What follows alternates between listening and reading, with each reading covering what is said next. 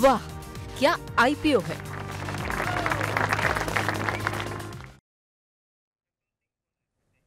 चलिए तो मेरे सहयोगी शौर्य रोज की तरह मेरे साथ जुड़ चुके हैं आईपीओ में यानी कि प्राइमरी मार्केट में किस तरह का एक्शन हो रहा है उसे बताने के लिए और साथ ही इस पर राय देने के लिए हमारे साथ कोलकाता से मार्केट एक्सपर्ट संतोष कुमार सिंह जी भी फ़ोन लाइन पे मौजूद हैं। सर आपका बहुत बहुत स्वागत है। आप हमारे साथ बने रहिए। पहले शौर्य के पास चलते हैं और जानते हैं कि आज मेन बोर्ड पे किस तरह का एक्शन देखने को मिला है। आज तो शायद दो तीन कंपनियों की लिस्टिंग हुई है शौर्य नहीं? जी तीन कंपनियों की लिस्टिंग हुई है। सबसे पहले उस कंपनी की लिस्टिंग की शुरुआत करते हैं तो अच्छी हुई है क्योंकि आज तीन में से एक ही कंपनी ने अच्छा लिस्ट दिया है बाकी दोनों एक्चुअली डिस्काउंट पर लिस्ट हुई है। तो जो प्रीमियम पर लिस्ट हुई है उस कंपनी का मैं राशि पेरिफेरल्स वो एनएससी पर 339.5 के प्राइस पर लिस्ट हुआ है और इशू प्राइस था इसका 331 311 रुपीस का यानी 9.16 परसेंट के प्रीमियम पर कंपनी लिस्ट हुई है।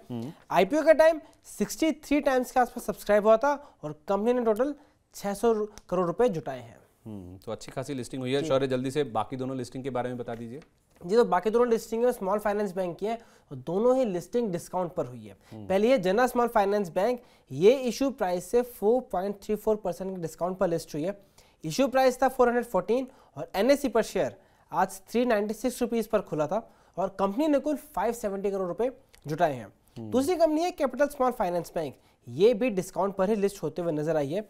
एनएससी पर इसका प्राइस है फोर थर्टी रुपीज़ का और इशू प्राइस इसका फोर सिक्सटी एट रुपीज़ का। यानी ये भी डिस्काउंट के साथ लिस्ट होते हुए नज़र आई है और आईपीओ कुल four point one seven time subscribe हुआ था।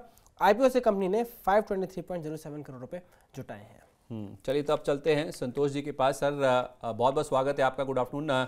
आज तीन कंपनियों की लिस्टिंग हुई है, जिसमें राशि पेरीफेरल्स, इसकी अच्छी लिस्टिंग हुई है। आज कमज़ोर बाज़ार था, निफ्टी पौने 200 पॉइंट नीचे खुला था, लेकिन उसके बावजूद ये शेयर नौ फ़ीसदी से ज़्यादा के प्रीमियम के साथ खुला है। उससे आपको समझ आएगा कि कितना इंटरेस्ट इस स्टॉक को लेके है। सब्सक्रिप्शन भी काफ़ी अच्छे देखने को मिले थे। सर, जो मिस कर गए थे, जिनको नहीं अलॉटमेंट मिला था, क्या अब सेकेंडरी मार्केट में उसे खरीद सकते हैं? गुड आफ्टरनून संदीप जी देखिए मुझे लगता है कि राशि पेरिफेरल जो कंपनी है अब जब आईपीओ के बारे में हम बात कर रहे थे तो हमने कहा कि इसके इसकी एक पैरेलल कंपनी है जो कि लिस्टेड है ऑलरेडी रेडिंगटन इंडिया बोल के हैं और वो कंपनी के कामकाजी मुनाफे काफ़ी अच्छे हैं नंबर्स काफ़ी अच्छे रहे हैं उसके। आ, साथ ही उनके पास कैश काफ़ी बुक में पड़ा हुआ है तो उन सारी चीज़ों को देखकर लग रहा था कि अगर कोई भी एक बेहतर कंपनी ऑलरेडी लिस्टेड है तो मुझे लगता है कि वहाँ पर आपको देखना चाहिए। और मैं अभी भी उस बात पर कायम हूँ कि आपको अगर किसी भी गिरावट में खरीदारी करनी है तो रेडिंगटन मुझे लगता है कि बेहतर विकल्प हो सकता है इसमें। हम्म, तो जिनके पास है सर जिनको अलॉटमेंट मिला था क्या राशि पेरीफेरल में अपना मुनाफा बुक करके निकल जाना चाहिए? बुक कर सकते हैं या फिर राइट द टाइट कर लें फाइव टू सेवन परसेंट का एक स्टॉप लॉस लगा लें उसके बाद राइट द टाइट कर सकते हैं। क्या लेवल बताया सर आपने स्टॉप लॉस का? Five to seven percent current market price से आप स्टॉप लॉस जो है वो लगा सकते हैं। फाइव टू सेवन परसेंट का आप स्टॉप लॉस लगा सकते हैं। इनफैक्ट ये हायर लेवल से स्टॉक अब करेक्ट हो चुका है। इसमें तीन सौ चालीस रुपये के आसपास खुला था। तीन सौ ग्यारह रुपये का इशू प्राइस है। तीन सौ बयालीस रुपये सत्तर पैसे का हाई बनाया था। और अभी ये तीन सौ चौबीस रुपये के आसपास ट्रेड करता हुआ दिख रहा है। यानी कि अपने इशू प्राइस से तो ऊपर है, लेकिन जहाँ पे खुला था तीन सौ चालीस रुपये के आसपास, वहाँ से करीब सोलह रुपये के आसपास की गिरावट हो चुकी है। तो पाँच से दस परसेंट नीचे का स्टॉप लॉस लगा के आप चाहें तो राशि पेरीफेरल को होल्ड कर सकते हैं।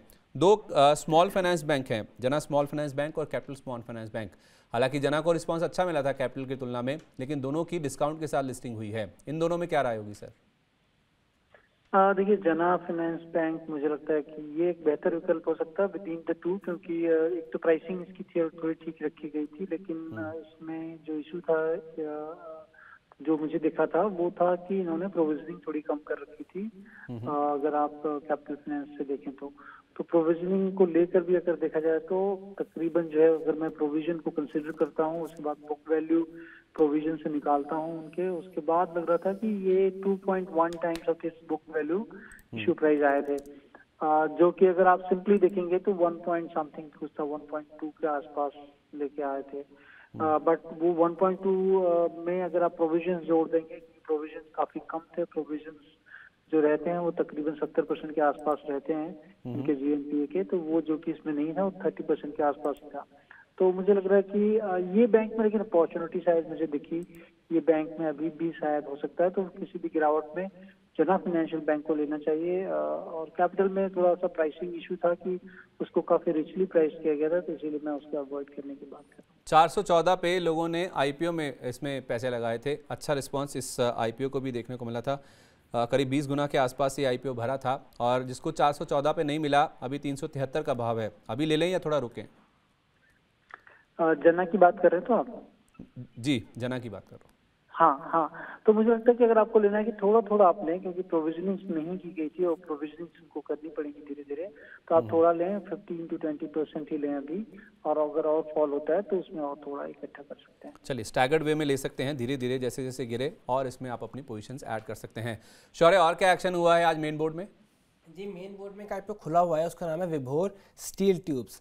ये आईपीओ का सब्सक्रिप्शन की अगर बात करें तो आज 14 फरवरी को 12 बजे तक ये 54.03 टाइम सब्सक्राइब हो गया था और ग्रे मार्केट में कंपनी को 110 रुपीस का प्रीमियम मिल रहा है। हम्म। बल्कि प्राइस बैंड है 141 से लेकर 151 रुपीज़ का यानी अच्छा खासा प्रीमियम कंपनी को जीएमपी में मिलता हुआ नज़र आ रहा है। ये तो कल भी 27 गुना भर गया था और शायद जीएमपी कल भी 110 रुपए का ही था। जी।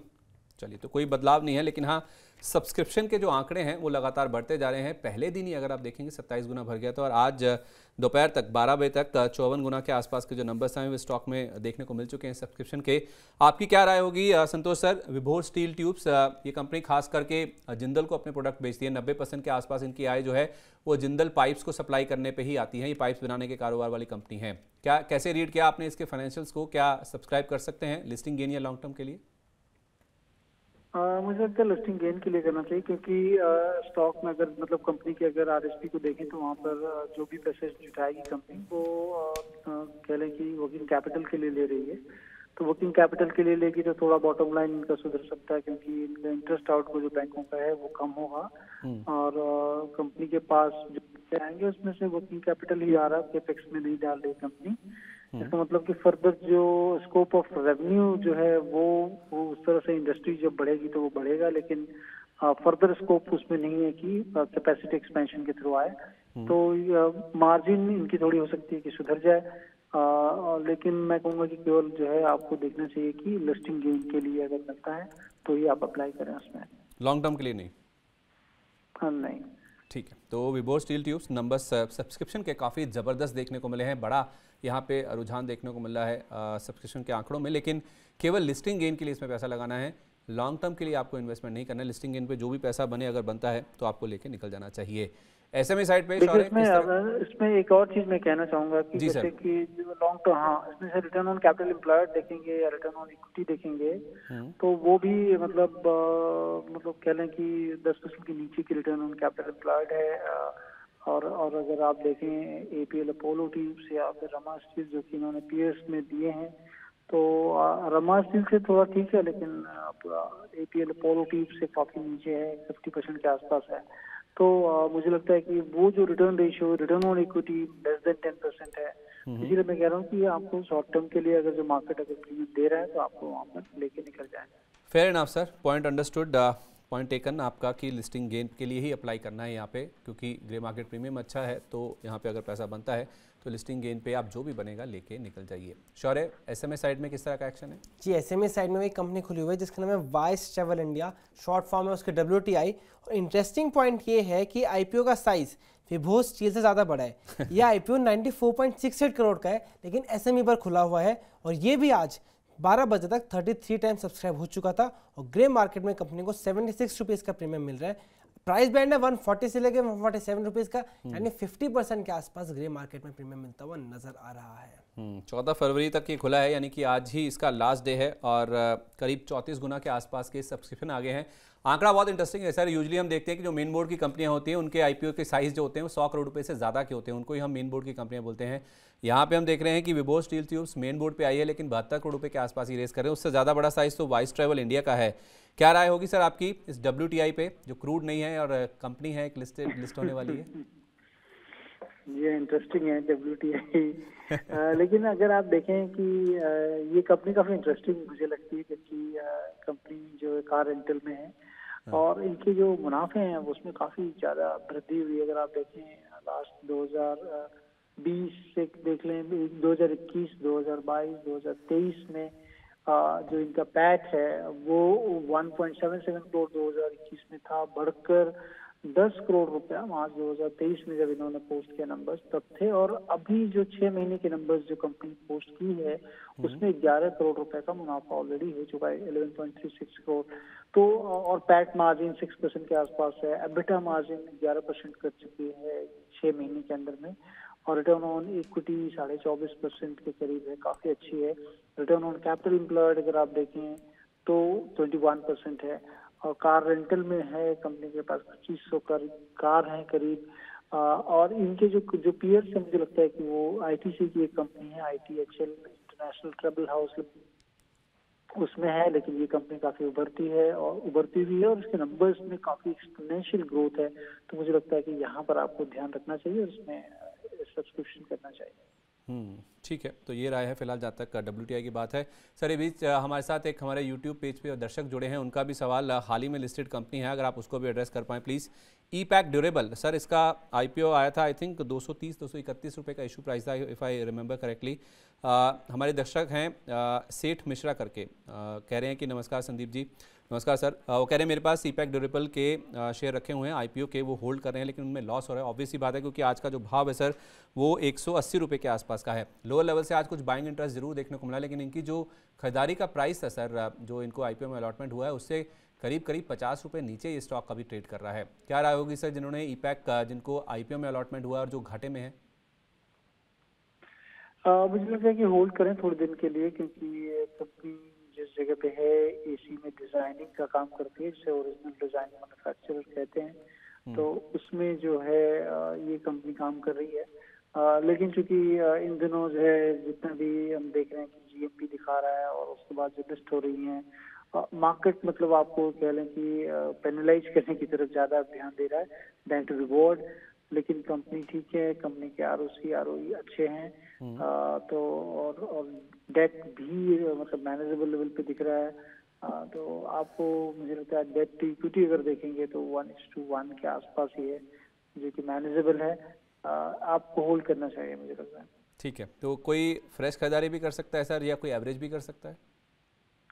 देखिए फ्रेश खरीदारी के लिए तो मैं नहीं हूँ कि आप फ्रेश न करें क्योंकि आपके पास ऑलरेडी है और नई लिस्टेड कंपनीज़ में अगर ये जनरली ट्रेंड देखा जाता है कि अगर मार्केट उसको नहीं लेता है तो का, काफ़ी बार कई मतलब काफ़ी डीप कट्स आ जाते हैं।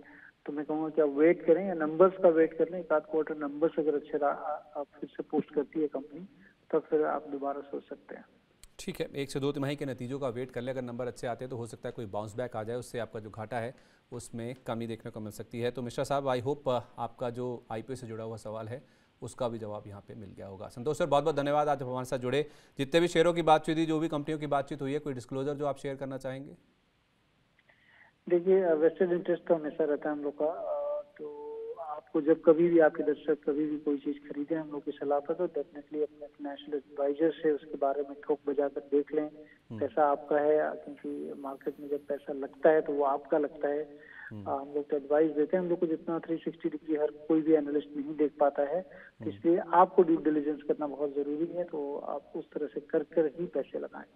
चलिए सर बहुत बहुत धन्यवाद। आज आप छुट्टी के दिन क्योंकि बसंत पंचमी का दिन है तो काफ़ी सारे ऐसे राज्य हैं जो कि छुट्टी मना रहे हैं। तो आपको बसंत पंचमी की बहुत बहुत शुभकामनाएँ सर और धन्यवाद। इस छुट्टी के दिन भी आज आप हमारे साथ जुड़े अपना समय दिया और अपनी राय हमारे साथ शेयर की। Thank you very much thank you thank you और शौर्य बहुत बहुत धन्यवाद। आपने भी पूरी डिटेल्स जो हमारे साथ आईपीओ को लेकर शेयर की आपका विशेष धन्यवाद। वाह क्या आईपीओ है।